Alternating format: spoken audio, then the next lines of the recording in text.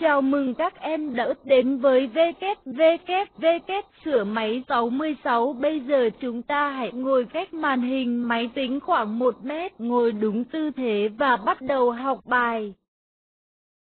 Bộ đề số 9 Câu 1, 2 điểm Tóm tắt tiểu sử của Hemingway, tác giả truyện Ông già và biển cả. Câu 2, 3 điểm Anh chị suy nghĩ như thế nào về ý kiến sau đây? Phê phán thái độ thờ ơ, ghẻ lạnh đối với con người cũng quan trọng và cần thiết như ca ngợi lòng dị tha, tình đoàn kết. Câu 3, 5 điểm. Phân tích nhân vật A Phủ trong vợ chồng A Phủ của Tô Hoài.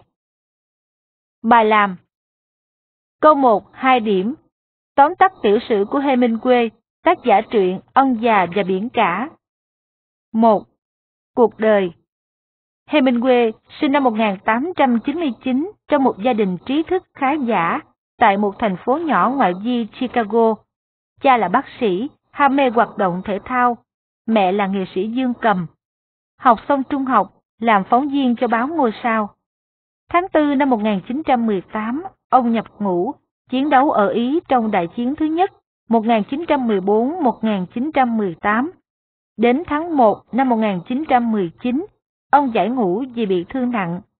Ông viết tiểu thuyết lên án chiến tranh đế quốc, mang tâm trạng lạc loài và muốn phủ nhận nền văn minh công nghiệp, cùng một số trí thức trẻ tự xưng là thế hệ mất mát, những người trở về từ chiến trận hoặc chịu sự tác động của chiến tranh, không hòa nhập được với cuộc sống. Họ chủ yếu đi tìm sự bình yên trong men rượu và tình yêu. Năm 1921, ông cưới vợ là một nghệ sĩ dương cầm Năm 1922, ông tham gia chống chủ nghĩa phát xít ở Ý, tiếp tục làm phóng viên, qua châu Âu gặp gỡ các nhà văn danh tiếng. Năm 1937, gia nhập đội quân tình nguyện quốc tế Tây Ban Nha chống nhà độc tài Franco. Trong Thế chiến thứ hai, 1939-1945, Hemingway làm phóng viên cho lục quân Mỹ khi quân đội Mỹ đổ bộ lên Normandy, nước Pháp đánh bọn phát xít ở ngoại ô Paris. Cuối đời, ông sống nhiều năm ở La Habana, Cuba. Ngày 2 tháng 7 năm 1961, Hemingway tự sát. 2. Sự nghiệp văn chương Mặt trời vẫn mọc 1926, Giả từ vũ khí 1929, Những ngọn đồi xanh châu Phi 1933, Một nơi sạch sẽ và sáng sủa 1933, Cuộc đời hạnh phúc và ngắn ngủi của Francis Macober 1936, Chu Nguyện Hồn Ai 1940, Ông già và biển cả 1952. Tên tuổi của Hemingway được xếp vào hàng những nhà văn số một của thế giới. Ông nhận giải Pulitzer cao quý của Mỹ năm 1953 và năm 1954, Hemingway được trao giải thưởng Nobel về văn học do những đóng góp lớn trong việc đổi mới văn xuôi hiện đại đặc biệt là nghệ thuật đối thoại, cũng như việc thể hiện niềm tin bất diệt vào ý chí, nghị lực, lương tri của con người. Câu 2, 3 điểm. Anh chị suy nghĩ như thế nào về ý kiến sau đây? Phê phán thái độ thờ ơ, ghẻ lạnh đối với con người cũng quan trọng và cần thiết như ca ngợi lòng dị tha, tình đoàn kết. Một La Mã mở bài Phê phán và ngợi ca là hai vấn đề đối lập xảy ra hàng ngày trong cuộc sống con người. Phê phán và ngợi ca giúp con người tốt hơn, giúp gia đình và xã hội ngày càng hoàn thiện hơn. Chính vì thế có người nhận định, phê phán thái độ thờ ơ, dễ lạnh đối với con người cũng quan trọng và cần thiết như ca ngợi lòng dị tha, tình đoàn kết. Hai là mã thân bài Một nhỏ, đã là con người thì chắc hẳn chúng ta phải hơn loài vật không chỉ về lý trí mà còn ở tình cảm nữa. Con người sống không thể ghẻ lạnh, thờ ơ trước đồng loại. Bởi vì, còn gì đẹp trên đời hơn thế, người với người sống để yêu nhau. Tố hữu Phê phán thái độ thờ ơ ghẻ lạnh đối với con người là điều vô cùng cần thiết. Nếu ai cũng biết mình về mọi người, chỉ biết quên mình cho hết thảy, thì chẳng cần gì tới việc phê phán cả. Thế nhưng trong thực tế, Luôn luôn có những kẻ chỉ biết đến bản thân và gia đình mà thôi. Trái tim của họ vô cảm trước bất hạnh của đồng loại. Hại người là một tội ác, nhưng vô cảm trước nỗi đau của đồng loại, chắc hẳn cũng là tội lỗi mà tòa án lương tâm không thể nào tha thứ. Có biết bao kẻ giàu có sẵn sàng chia ra những khoản tiền lớn để ăn chơi sa đọa hoặc phục vụ cho mục đích dinh thân phì gia. Trong lúc đó, có vô số người dân cùng khổ đang chui rút trong những túp lều dột nát. Cũng có không ít kẻ lợi dụng chức quyền để chiếm đoạt quyền lợi của kẻ khác. Cụ thể, nhà nước với chủ trương hỗ trợ giúp đỡ cho người dân nghèo có những ngày Tết được êm ả, hạnh phúc bằng những khoản trợ cấp vật chất. Thế nhưng người dân nghèo đã bị cắt xén, ăn chặn bởi những người đại diện cho dân. Điều này có đáng phê phán không? Mỗi phút giây chung quanh ta có biết bao người đang phải chịu đau đớn vì bệnh tật, không có tiền chữa chạy. Liệu chúng ta có thể khoanh tay, thản nhiên đứng nhìn được không? Hai nhỏ.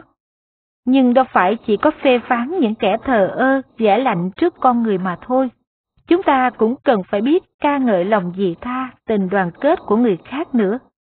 Hạnh phúc không chỉ đơn thuần khi ta được sung sướng, mà cao đẹp hơn nếu như chúng ta biết thương người như thể thương thân, biết hy sinh cho hạnh phúc kẻ khác. Kỳ diệu thay trái tim con người, trái tim nhỏ bé nhưng đầy ấp tình yêu thương, lòng dị tha và tình đoàn kết. Trái tim kỳ diệu ấy giúp con người biết nối vòng tay lớn, trái tim cho em, đã mang lại biết bao nụ cười cho con trẻ, mang lại cuộc sống ấm áp cho bao gia đình nghèo khó. Ba La Mã kết bài Rõ ràng phê phán thái độ thờ ơ ghẻ lạnh đối với con người, ca ngợi lòng dị tha, tình đoàn kết cũng đều quan trọng và cần thiết như nhau. Tất cả đều có cùng một mục đích là giúp con người tự hoàn thiện nhân cách hàng ngày của mình. Và khi mỗi chúng ta đều biết hướng đến đồng loại với một tấm lòng tự nguyện, với một trái tim đầy ắp tình người, chắc hẳn xã hội sẽ là thiên đường ở Trần gian.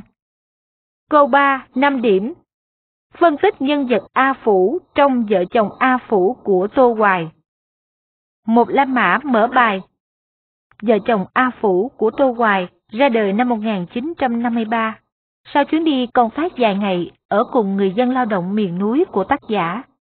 Bên cạnh nhân vật Mỹ với sức sống tiềm ẩn, thì A Phủ, một đứa con tự do của núi rừng Tây Bắc đã suýt chết bởi dây trói bất nhân của thống lý Bá Tra nếu không có Mỹ giải thoát. Hai La Mã thân bài A Phủ là nhân vật phát triển sống đôi, có hoàn cảnh và số phận tương đồng với Mỹ. Thân phận của A Phủ gặp nhiều bi kịch. Một nhỏ Từ tấm bé, A Phủ đã sớm mất gia đình. Trong một trận dịch đầu mùa, cha mẹ, anh em A Phủ đều chết hết. Từ đó A Phủ tứ cố vô thân, không người thân thích, bị bắt đem xuống núi thấp, đổ thóc cho người Thái. Nhớ núi cao, A Phủ đã tìm cách trốn đi và lưu lạc đến Hồng Ngài, làm thuê làm mướn. Ai bảo làm gì, A Phủ đều làm để kiếm sống, dù chỉ mới 10 tuổi. Lớn lên, A Phủ trở thành chàng trai tự lập mạnh mẽ, biết đút lưỡi cày, biết đục cuốc, lại cày giỏi và săn bò tót rất bạo. Khỏe mạnh, chạy nhanh như ngựa. A Phủ trở thành niềm ao ước của nhiều cô gái trong làng. Đứa nào được A Phủ cũng bằng có được con trâu tốt trong nhà, chẳng mấy lúc mà giàu. Tuy có nhiều người yêu thích, nhưng A Phủ vẫn cô độc bởi các cô gái mèo rất thực tế. Người ta ao ước đùa thế thôi, chứ phép rượu cũng chẳng to hơn phép làng. Còn tục lệ cưới sinh mà A Phủ thì không có bố mẹ, không có ruộng, không có bạc. A Phủ không thể lấy nổi vợ. Hai nhỏ Tuy thế A Phủ vẫn không hề mặc cảm. Dù A Phủ không có quần áo mới như nhiều trai khác, A Phủ chỉ có độc một chiếc dòng día lằn trên cổ. A Phủ cũng cứ cùng trai làng đem sáo khèn, đem con quay và quả phao, quả yến đi tìm người yêu ở các làng trong vùng. Ngày Tết bị bọn A Sử phá đắng cuộc vui, bị bạn bè xúi dục. A Phủ biết đó là A Sử, còn Hoàng thống lý Hồng Ngài, một người có quyền lực nhất làng, nhưng A Phủ vẫn đánh A Sử. Dung tay ném con quay rất to vào mặt A Sử, nắm cái vòng cổ, kéo dập đầu xuống, xé dây áo, đánh tứ tóc. A Phủ đã dám đấm vào bộ mặt đáng ghét của con trai thống lý, đã dám chà đạp lên biểu tượng quyền thế của bọn quan lại miền núi. Nhưng hành động đơn độc ấy đã đưa cuộc đời A Phủ vào ngõ cụt. A Phủ bị bắt trói gô chân tay lại. Vừa lúc thống lý bá ca tới, chúng nó sọc ngang cái gậy, khiêng A Phủ mang về ném xuống giữa nhà thống lý. A Phủ bị thống lý đưa ra xét xử, một cuộc xử kiện xưa nay chưa từng có. Sự kiện trong khói thuốc phiện tuôn ra các lỗ cửa sổ tung hút xanh như khói bếp. Bọn trai làng thì xô đến, trước nhất chắp tay lạy lia lịa tên thống lý bá tra, rồi quay lại đánh A Phủ. Người thì đánh, người thì quỳ lạy, kể lễ, chửi bới. Dù bị đánh từ chiều đến suốt đêm một cách mang rợ, mặt A Phủ sưng lên, môi và đuôi mắt dọc chảy máu, nhưng A Phủ không hề kêu rên mà chỉ im lìm như tượng đá. Kết thúc trận đòn, A Phủ bị phạt dạ 100 đồng bạc trắng. Món nợ bị thống lý bá tra bắt chay đã biến đứa con của núi rừng tự do thành kiếp sống nô lệ bởi lời nguyền của thế lực cường hào. Đời mày, đời con, đời cháu mày, tao cũng bắt thế, bao giờ hết nợ tao mới thôi. Tuy phải lao động nô dịch, nhưng A Phủ vẫn hết sức tận tâm làm những công việc nặng nhọc và mạo hiểm. Đốt rừng, cày nương, cuốc nương, săn bò tót, bẫy hổ, chăn bò, chăn ngựa. Công việc làm hay đi săn, cái gì cũng làm phăng phăng. Ba nhỏ Nhưng A Phủ cũng không được sống cuộc đời nô lệ ấy mãi. Bản tính phóng khoáng hồn nhiên. A Phủ đã mãi mê bẫy nhím, lê đỉnh diệt trông coi bò bị mất một con. A Phủ rồi đi tìm, con bò đã bị hổ ăn mất một nửa. A Phủ dắt nửa con bò về nhà thống lý để mượn cây súng đi bắt hổ. Nhưng thống lý chửi mắng và trói A Phủ vào cột, chờ lính giỏng và A Sử đi bắt hổ. Nhưng họ không bắn được, nên A Phủ vẫn bị trói cho đến chết để đền mạng cho nửa con bò. Bốn nhỏ A Phủ bị thống lý bá tra trói vào cây cọc gỗ với những dòng dây mây siết chặt cùng lời tuyên án. Nếu không được hổ thì tao cho mày chết ở đấy. Và bá tra thực hiện điều đã nói một cách lạnh lùng tàn nhẫn. Đã bao đêm bị trói đứng ở cột, đói lạnh để làm cho người con trai khỏe mạnh trở nên gầy sọp đi.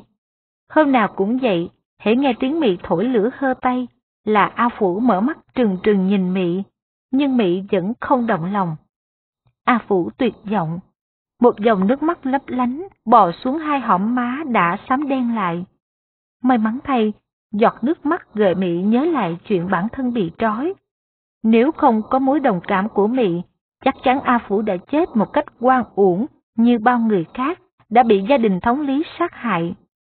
Được mỹ cắt dây trói, A Phủ đã khuỵu xuống, nhưng lại quật sức dùng lên chạy. Vừa xuống đến lưng dốc thì Mị đã đuổi kịp. Hiểu nhau, hai con người khốn khổ dắt dưới nhau đi trốn cha con thống lý bá tra. Và họ đã trở thành vợ chồng. Ba La Mã kết bài.